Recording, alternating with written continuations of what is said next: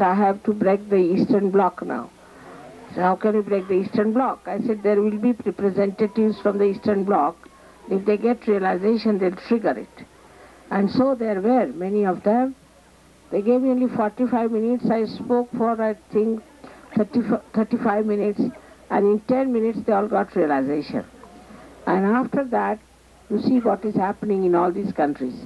We had people from Romania, we had people from Poland, from Germ East Germany, we had people from Czechoslovakia, Yugoslavia, and the whole thing started after that. May God bless them and bless you all. I hope this year Sahaja Yoga will spread in the whole of Maharashtra, in the whole of India, in the whole of the world. May God bless you.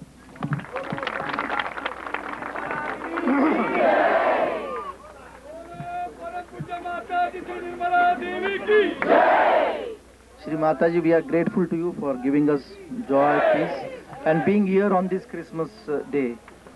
Um, thank you very much.